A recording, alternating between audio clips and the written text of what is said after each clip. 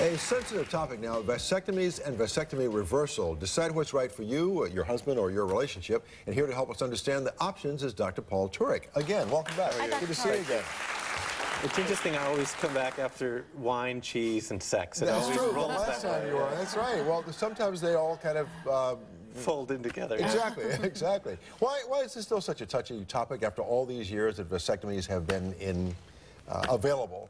Well, because it does change a man in a small way. It's part of the body that's real sensitive, and and they'd rather not have surgery there if they can avoid it or procedures, and I think that's the basis for it. Right. Is there something important for women to, to know if the, the men in their lives are considering vasectomy? What, what should they do or know to be supportive?